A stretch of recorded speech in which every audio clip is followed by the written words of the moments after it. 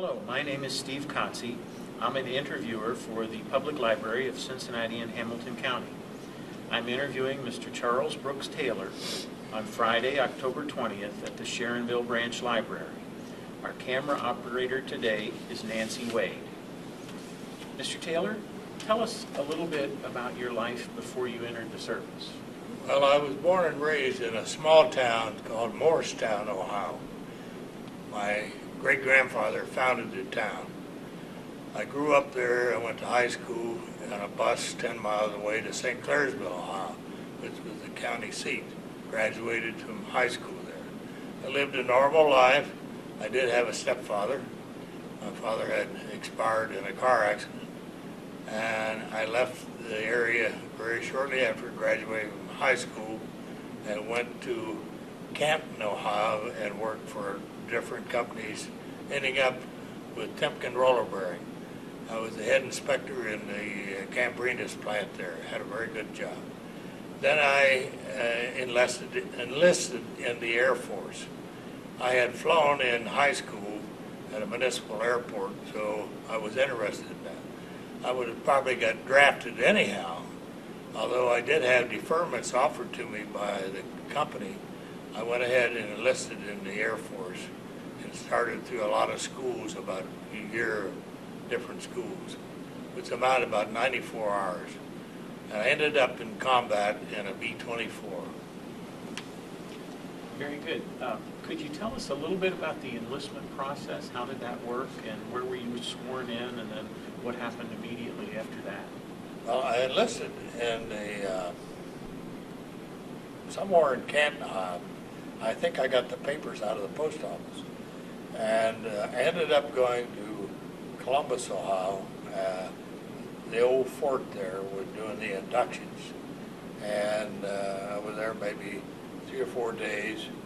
And they said they wanted to send me to some schools because I already had thought about entering college. And I ended up uh, leaving Columbus after three or four days as an inducted. Uh, I enlisted, and you know when you're enlisted, you have a one flavor name. If you're drafted, you have a three. So I asked for what I got. I didn't know I was going to end up in combat in a B-24. I started out going to various schools. Started out in the Yale V-12 program, which was amazing to me that they even had it set up. But I got a lot of schooling. It was fast, and maybe 18 hours a day you went to school. Uh, you didn't have much time to sleep. And I strived to be number one all the time, not knowing that that's what they were looking for to put on these air crews. And I have equivalent to a mechanical engineer's degree. So they put me in aerial engineering. I was the uh, engineer on the plane. I knew the airplane very well. And that's how I got in. I just simply enlisted and went through schools and I kept getting better and better and better and more. I think I was at about eight or ten bases. Finally, it come time to go overseas, and I went. Now, where, did you have basic training in addition to the school? Oh, yes, yes. I had uh, schooling in engi- engines, hydraulics, aer- aerodynamics, uh, electrical. Uh, you get a, a crash course. Like I say, I went to, I can't think of the base in Louisiana. And they really run us. I run to lunch, I run to the post office, I run to school. And the schedule was a very tough schedule because we were behind, the U.S. was, getting ready. And uh, we had lost out in the Pacific uh, through the Philippines and withdrew out of there. The Japanese had the whole area cleaned down into Indonesia, Borneo. They were even bombing Australia when we were in Fenton, which is 100 miles south of Darwin. We were bombed uh, while I was there three times by the Japanese trying to get into Australia. We actually got credit from the Australian people for saving Australia. Our Air Force was called the Flying Circus because we uh, fought the Japanese uh, coming in to bomb us. We did have some fighter planes there also. Well, now, after, after basic training, how did you get divided up so that you ended up in the Pacific. Tell us about that. Well, we were, I know, picked at random somehow. Uh, At one of these different bases, we were in New Mexico. Uh, I got assigned to a crew, and none of us knew each other. Here's 10 men coming together in a B-24. We don't know each other. Uh, You have to get along socially, emotionally. Uh, You know your job on the plane. There's two armor gunners. Uh, There's uh, the head engineer, I had an assistant engineer, a co-pilot, a navigator, a pilot, and a uh, bombardier, 10 of us. Uh, I flew in the top turn and also the tail turn if I had to. We had a ball turn. They later took those out. Very dangerous. They, when you sometimes they wouldn't retract. When you land, they're about as low as the last as the tail wheel. You could scrape the runway going down, and you're in there and you're tied up, and you're had to be very small to get in there. Uh, but we were assigned these crews. We got together in uh, in New Mexico, and we started flying uh, experimental flying, bombing runs over Alamogordo. And you finally you get to know each other. You hope you know each other. What happens on a crew in a B-24 or any other large bomber? You get someone on there that does not fit in with the other people. He can ruin all of your lives. He can kill you. We had that happen overseas with one of our men. I refused to fly with him. And I went up. The worst thing you can do in flying is sandbagging. That's to go with anybody. You don't have a set crew. You don't have your uh, friends that you schooled with, trained with. Uh, you just are, you're an outsider, and you don't last long if you're sandbagging. Uh, that's a story I'll put in later, maybe what happened on a on a flight over uh, a night flight, very dangerous flight. Uh, we were over the Stanley Mountains. We had fighter cover. I think we lost 20 fighter planes that couldn't get up over the mountains in a bad storm. We hear Mayday and everywhere.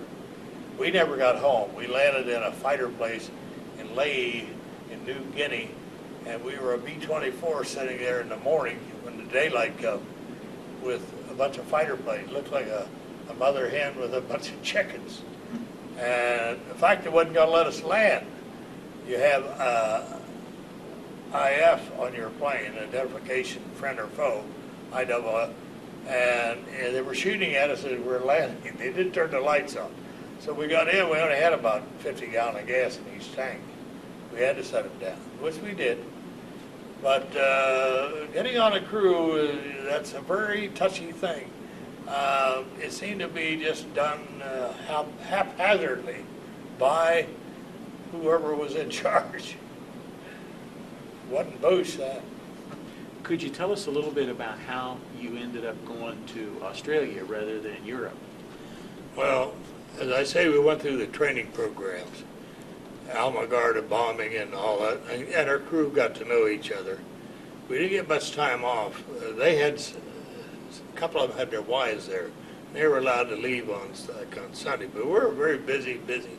Finally, we get our operations uh, 100%, and they're going to send us, we're assigned to the 8th Air Force.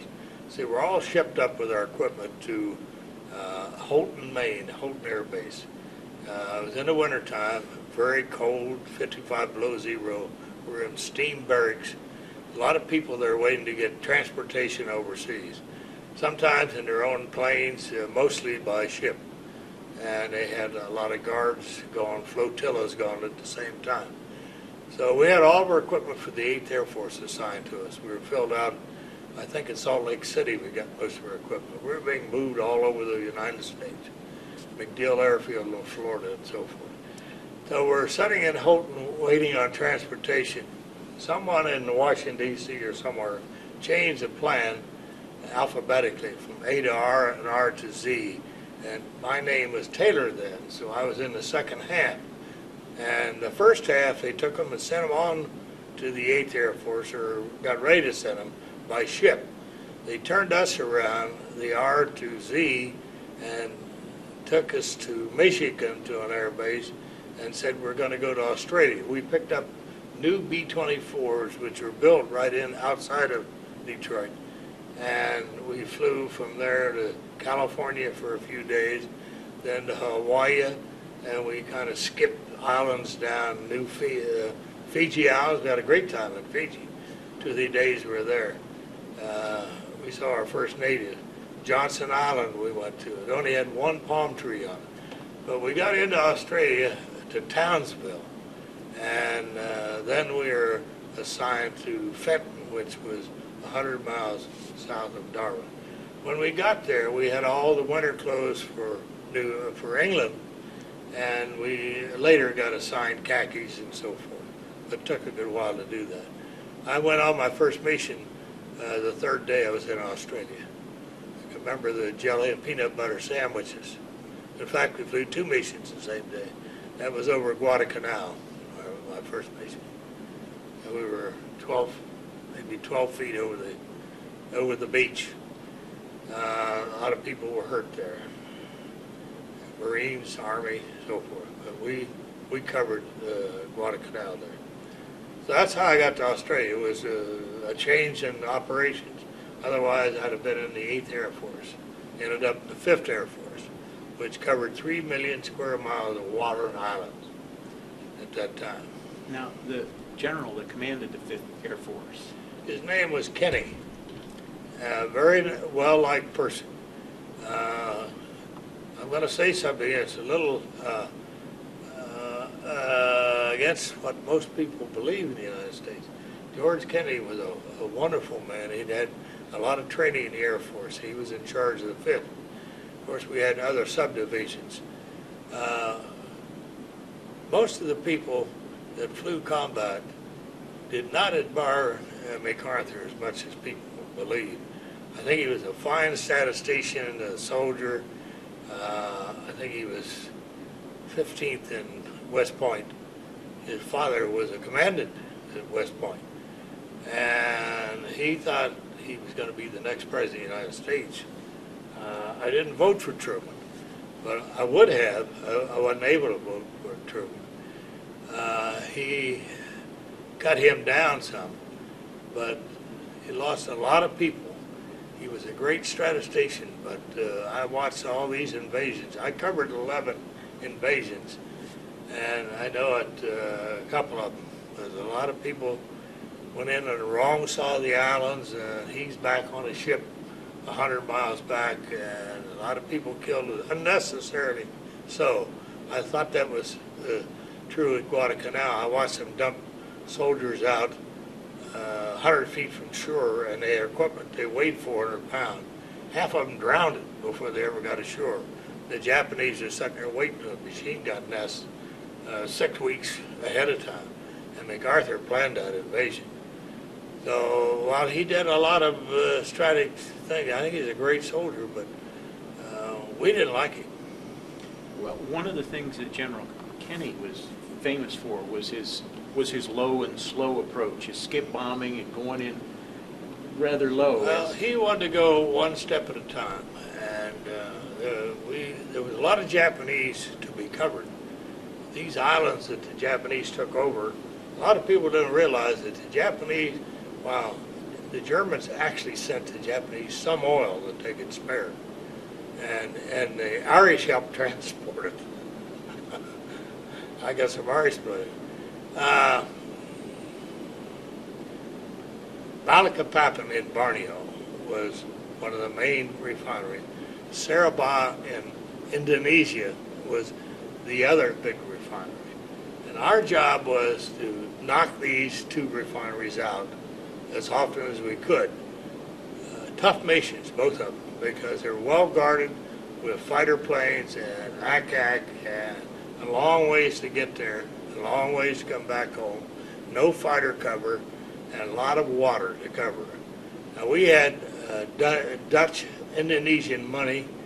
We could buy boats or anything if we got shot down. But the uh, thing is, the Japanese paid these guys more than, than we give them Dutch money. So we didn't have much rescue. If you got shot down, that was it. Uh, you didn't come home. But our, we knocked out these refineries. Uh, when we leave, 20,000 feet of smoke and fire, you can see them climbing back up and getting them back- back in repair. Probably this represented half of the Japanese oil. Uh, in Europe, it was Pulaski. You know, in Iraq, we're losing uh, a lot of great Americans. I think we've lost 2,500 people. But over Pulaski and the 8th and 9th Air Force, they lost 2,800 a day bombing that. But So- the, the raids you went on in the Pacific were longer than the ones Yeah. in Europe. I was on one mission 18 hours and 40 minutes, and that was the longest mission flown till the B-29 come over. And you have to carry, take a lot of gas. It cuts down on your bomb run, your amount of ammunition you're carrying, and uh, we used to load the B-24 Bare weight was 32,000 pounds. We used to take off weighing 100,000 pounds. And it takes a long runway to get it off the ground, maybe two miles long. Actually, you disappear, it's on even ground, and you're trying to get enough speed up to get off. Uh, 150 mile an hour to get down the runway. And here's the ocean coming up ahead of it. You gotta go. But uh, you burn your gas up fast. It takes, I don't know how many gallon of gas to get up there and get into formation. Uh, Our protection was to protect each other without fighter cover. We flew a very tight formation, formation. And we've got uh, about 18 B, uh, uh, 50 caliber guns from all directions on the plane. Even the bombardier, he has his own gun. The only people not firing was the navigator, radio, pilot, co-pilot. And we carried a lot of handheld ammunition inside the airplane. We used to kick it out with our feet. It was a scatter type of thing. And one time we went to Kendari and the emperor's birthday. It was 5,000 Japanese standing at parade rest on the runway.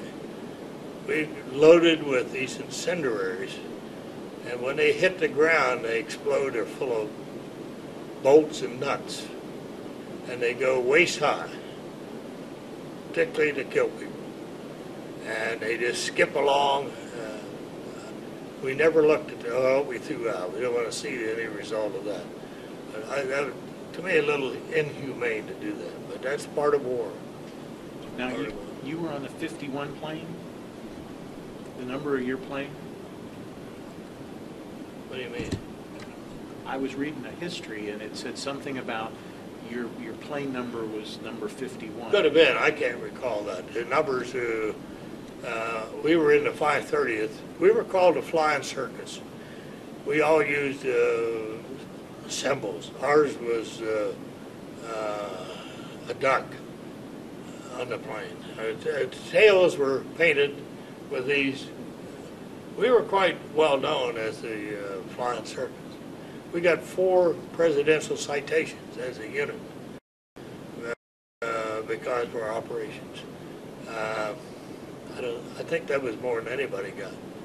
We got a lot of medals. I think I had 12 air medals alone. Uh, I guess that was in lieu of money. Now, of, of all the different things that you did as the engineer on the, on the plane, what, what did you like the most and what did you like the least? Well, I was responsible for every nut and bolt on that airplane. And I had studied awfully hard the blueprints and so forth, which would almost fill this room, uh, more than fill this room. Uh, you have standard procedures. If you lose an engine, you want to cut it off quick, or it'll tear itself right out of the nacelle. You learned how to handle the electrical, the fuels, and so forth. I enjoyed the engineering part. I was respected by the crew for that. Um, I'll tell you a real quick story. It was in Corpus. Uh, I was in Texas at a base. We were going to fly a night mission. I would go down and look the airplane over before, and the pilot of that plane has a right to fly it or reject it. If he takes the responsibility of something wrong with it, he has to sign for that. He's responsible for that. Well, I'm the guy who goes down in preliminary with, we have a ground crew, usually a sergeant, master sergeant, and his two assistants, who are keeping this airplane in shape. I go down and talk with him and see what's going on. Is the plane ready to go? Is it gassed up? I looked at this airplane and the white tread was showing through the tires, on all the tires. Uh, these are doubles in front, doubles in the back. Uh, you got eight tires to look at. And they were wore out on the airplane. And I talked to the crew uh, master. I said, uh, how come the tires haven't been changed?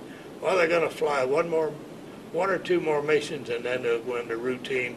They'll do the engine and the tires at the same time.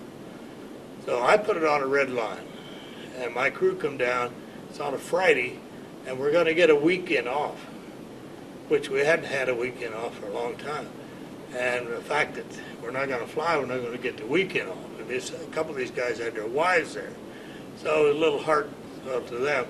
So they all come down in a truck, and I said, "Well, boys, we're not going to go today. I've redlined the airplane."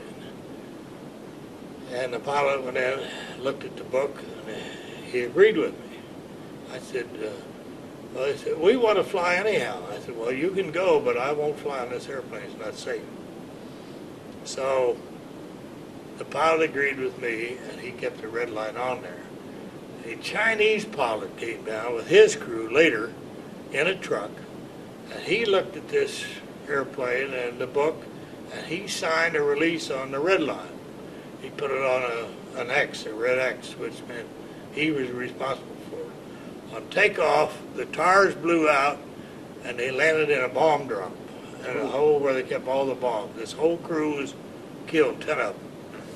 So from then on, when I said I ain't flying, the rest of the crew said I ain't either. So that helped me in my job. Now, while you, But I enjoyed, I enjoyed uh, knowing what I knew about the airplane. And I, a couple of times we lose an engine, and I'd have it stop right away. The pilot depended on me to do that. That's my job. you, Plus, I was a gunner, and I was also the first aid man on the ship. you talked about one time when you had to crash land. Tell us a little bit about that incident. We drew a black bean.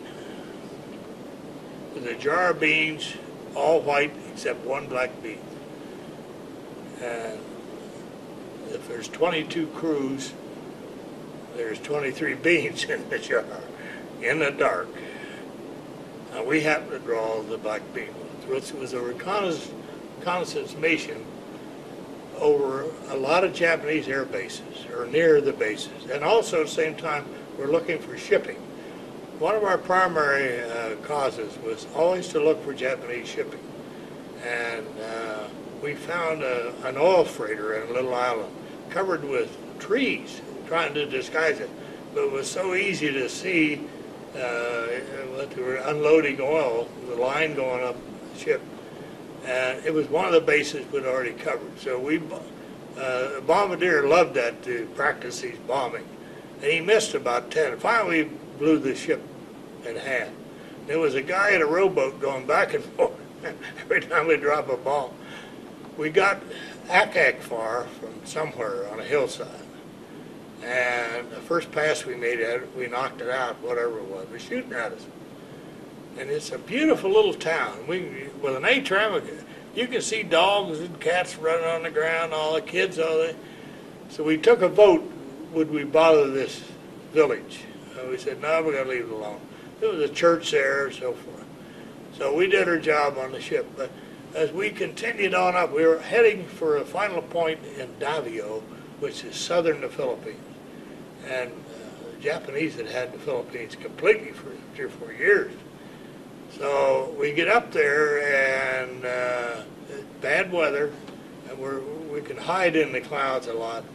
And but coming out of Davao, they started sending Zekes and Zeros on us. Now they can't stay in the air too long, uh, maybe uh, an hour. So they relay you. All the way home, we figured we might have had 50 Japanese planes on. They're trying to knock us down. They're doing a pretty good job. We got two engines knocked out. And we fought all the way down to Timor. Now, maybe you've heard about the Timor insurrection. ahead of us. When we had any bombs left coming home, we never wanted to bring them and land with them. We'd drop them on Timor. There's nothing in Timor worth anything. We'd even knocking out toilets just to get rid of the bomb and not land with live uh, bombs. Uh, I've never, I have another story about a live bomb, if you want to hear it, uh, that happened. Uh, arm electrically from his place up in the nose of the plane. And uh, as he kicks them off, they unhook and drop. They can drop one at a time, or two at a time, or all at one time, whatever. And when the bombardier is on a bomb run, he's controlling the airplane. He's flying the airplane. He's actually controlling the direction, the height, the whole bit. It's his for that time because the bomb sight is all set up with it, and so forth. And he called back. He said, "Charlie, one of the bombs didn't drop." He said, "It's armed and it's turning. What can you do about it?" Well, we have an ag, uh, we had a magnesium axe in the bomb bay for one purpose: chop these bomb uh, holders out. You actually chop right, you chop right through that plate. So I get back there, the bomb bay doors are open, and, and, and a lot of air coming in there. You know, I, now I couldn't even get down the runway. I'm so big, but uh, then I had to take my shoes off, everything off, to get down the runway, and it's open. And I, I chopped that uh, bomb rack out, and the bomb dropped maybe 200 feet and went off. Blew us back up another 200 feet. Uh, all I ever heard is, "Good job, Charlie. Good job." But that was a close one. That's probably as close as any. I've been ready to bail out. I Never bailed out. I was ready about three or four times to bail out. Never had to bail out. But that was about as close. That she went off. She would have went off inside too. Inside, yeah. Yeah. More, we uh, we dropped everything out of the airplane. We're we're running on two engines. The airplane will fly on two engines. The only trouble, it was two engines on one side out. That makes the airplane very hard to uh, keep in the air and uh, to guide it right. Uh, the pilot and the co-pilot were really earning their money on that. And we had enough gas. We were. We even chopped our, threw our guns out, threw all the ammunition out. That's the day we carry uh, 5,000, maybe 10,000 rounds of ammunition. One of the dangerous things flying in echelon uh, together is if you're firing, these bullets, these shells come back, they're red hot. Can't touch it. They come through a square sheet and out the back end. You can knock the plane behind you down with your empty cartridges. So you have to get the slipstream so that they're dissipating. A lot of detail like that. We're over Timor and we're deciding whether to bail out. We all have one man life rafts and all, and a couple of big rafts in the plane, but we decided to hang in there for Australia. It's a beautiful sight when we've seen it. And the other engine is uh, kicking out. Now, with one engine, you're, uh, one point we were losing 100 feet a minute. Uh, our altitude, we're down to about 4,000 feet. Uh, we ain't got much time in the air if that engine goes out. So when it did go out, we were over the coast of Australia, and I don't know how far deep we were. And I got the wheels down, and uh, we decided maybe we'd put them back up and go in belly uh, down. It might be safer that way because the wheels would tear you up. So we put the wheels back up and slid in, and we were cutting trees down maybe six inches in diameter. Uh, the last thing I did when I chipped my knee bone, I had to turn off four big valves, the main tanks of gasoline. And I'm the last guy that did that. So I didn't really get strapped in my seat when it hit the ground. I got through eh, from here to the, that door uh, down through the airplane. But I was pretty agile in those days.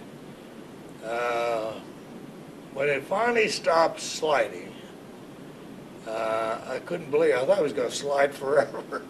you can't believe you hit the ground 150 mile an hour. How fast, you, how far you can go. This thing weighed 30,000 pounds, and uh, finally it stopped. Well, we were, the radio worked, so we got radio contact with the base, and we got out of there, and they came and got, picked the parts off of it, uh, so forth. So it was a tragic thing. Uh, we got a new airplane. Uh, another crew crashed in, I heard later. Uh, we were gone then, but we survived. Uh, the ones that were alive on, on board. No, you hurt your knee on that flight. It, you I chipped also, a bone. I still have a knot on there. you also won a Purple Heart a couple times. Yeah. Yeah. How did that happen? Well, I got, I was in, my tail turret I got hurt. I went back, I could fill in almost any position, the side gun, the tail turret, the ball turret, I went one or two missions. That, that's, that's, you gotta actually set inside yourself. And that's, they finally took them out. Uh, they didn't have much good aid. Anyhow, I was back in the tail turret, and a Japanese guy come up behind mean, He had a mustache. I could see his mustache. When they get that close, man, what am I doing in the Air Force? Why, why, you know, why didn't I join the WACs or something? Uh, the bullet was ricocheting inside, and it hit my knee. And the next thing I knew, we're under combat. I had a shoe full of blood it cut the nerve in my leg. It didn't hurt that bad. It, when you get hit with a bullet, full force, it's like somebody took a ball peen hammer and wham, hard as you could hit a guy. Uh, it was slowed down a little bit, ricocheted, and it hit me just below the joint. And uh, I put a tourniquet on my leg myself. Uh, I was the first aid man. That's paid off when we got back, uh, they took me to the hospital. And no, he set, the guy set me under a eucalyptus tree, and he had a one of these hand sewing machines with his foot. And I smoked, and then I, I smoked a little. bit. I smoked a whole pack of Camels while he did. He said, "What kind of a stitch you want in this thing?" And he, I said, "Put a baseball stitch in it." So I can show you how. That's all right. I got a baseball stick. Uh, he said, now if it turns gangrene, we'll have to amputate your leg. I said, there ain't no way. I, I had a night, uh, military 45 caliber. Uh, I strapped on my gun. ain't no way. I'm still walking on it. Although uh, with this osteoarthritis that is set in from the operation, I had this knee operated on a, a year ago, and I think he left a pair of pliers in there. But uh, arthritis is set in that knee and this one both, and it'll probably go up to my hips. So I'm, that's why I'm taking those experimental shots to see if I can stop it. Now, you were in Australia when the war came to an end? Uh, no, I had been sent back, just sent back. I was sent back to California, and uh, finally to Chanute Field in uh, outside of Chicago. I was teaching air, airplane, all the mechanics of uh, aerodynamics and so forth. when they dropped the atomic bomb, uh, I was. Uh, you had to have 85 points to get out. I had 185 points. There was no center open. They opened up below Indianapolis, and I was one of the first hundred was out of there. In fact, I may not even be out of the service. They, the GSA screwed up and didn't have the form. They hand typed my discharge. They owe me money. but anyhow, I was one of the first hundred men come out of Atterbury, Atterbury, which is a separation center set up below Indianapolis. But I was sent home, and uh, I think in February, and then the war really was over in August. So, so I goes, I got out August the 15th, uh, 1945. So a picture of a B-24 like the ones you flew in. Yes. This is a picture of uh, two B-24s flying over, looks to be an island, much like in the Pacific where you would have flown.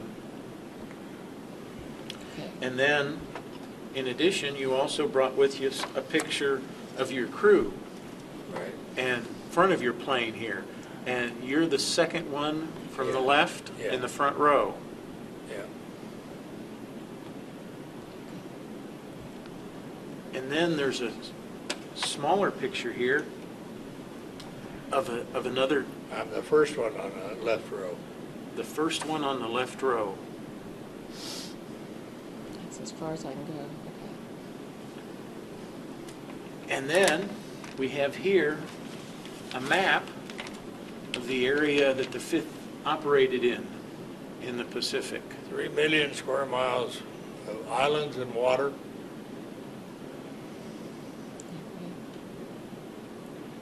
We also were the occupying force that went into Japan. The Fifth Air Force went through all these islands right on into Japan and stayed there as an occupying force at the end of the war.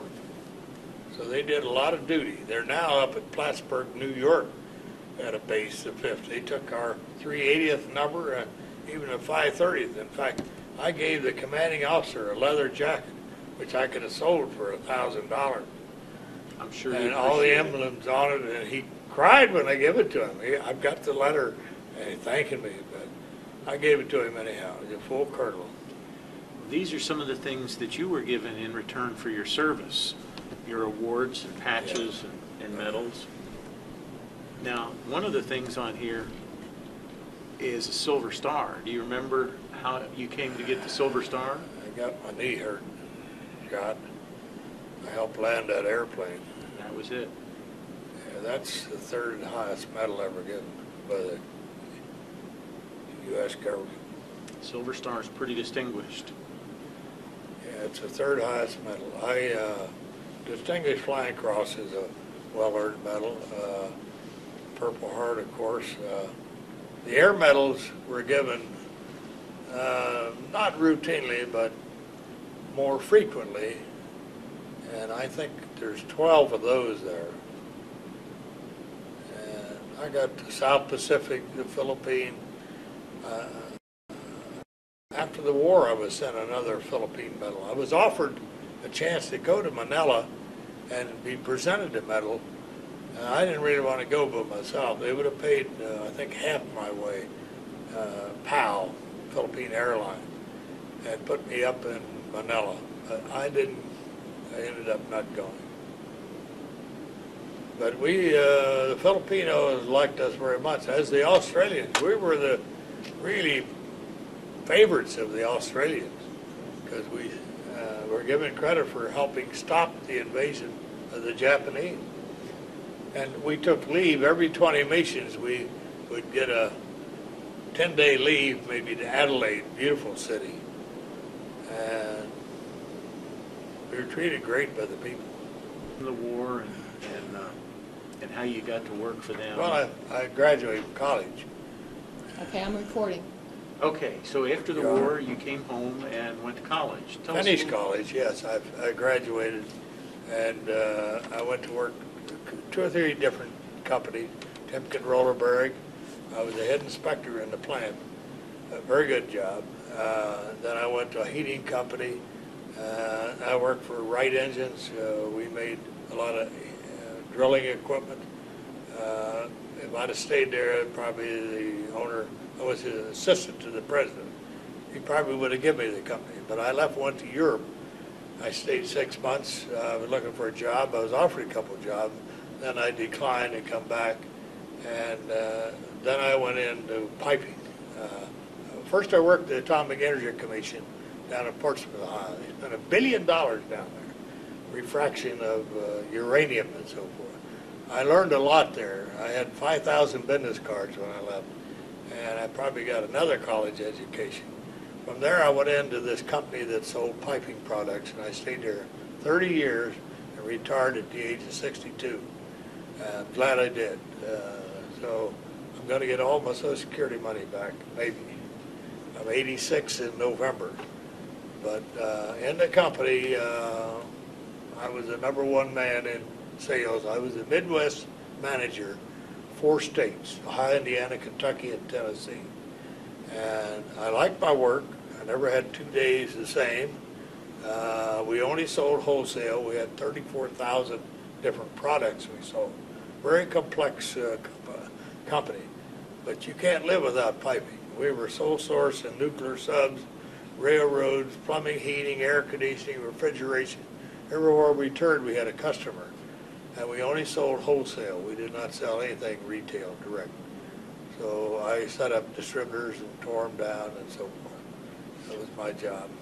This, this letter that you received when you retired is quite flattering. It says that you were the best salesman Stanley G. Flagg and Company had ever had, and that you really can't be replaced. They're just going to put somebody in your place and hope they do as well. But that's quite an accomplishment. Well, they started in 1850. So they were there a long time. Is there anything else that you'd like to add that we haven't covered that you think would be important for people in, in uh, the future watching this to Well, learn? I like to say that I don't deny that I had a rough time in the service. I still believe in everything America does conservatively, and I think, uh, I hope people appreciate what the old-time veterans did, particularly the ones that died over there. I see so many young people, as I say, I went over with 88 and 11 of us come back alive they gave their life, and you wonder if people really, really appreciate it. I think most of the people do. And I'm against wars, but I think there's times and places it must be done. And we fought hard in World War II, and we gave a lot of concessions away. We treated our enemies with a lot of help. I'm not sure it's not coming back uh, in our face. But I'm, again, I'm still patriotic, and I agree uh, that the war we've got on, I'm somewhat against that, but I think we're fighting terrorism, a terrible cause. Islam uh, owned the world at one time. They want it again. They're willing to die for it. And I think we're in World War III very heavily. And people don't believe that. They just don't know what's going on around us. The outcome, uh, I don't know. I hope my grandkids will be very strong. I teach them what I can, and I hope that they don't have to go through what I went through. But I survived, and I'm glad to, to be here alive today. I want to thank you for your time. We want to thank you too, because without you, I don't think any of us would be here. You and those who contributed so much during the war. I furnished a lot of pictures of airplanes and bombing maps. He returned it all. I remember it weighed 15 pounds when I sent him. He's the son of a, a RAF man, uh, and he wrote several books. This one was about the fifth, pr- primarily the 380th Bombardment Group. Now, he gave me credit in the book, uh, as he did others. Uh, I have taught at uh, UC a couple of speeches and so forth. I'm not very good at it, but uh, uh, when they uh, called on, I've given, uh, I don't know how many times, but I have a, a pretty good story to tell. And this book describes pretty much what we went through. And it says the illus- illustrated story of Kenney's Fifth Air Force. That was General Kennedy. And uh, so you do what you had to do at the time. And uh, I'm trying to survive to be a hundred years old and get a letter from the president.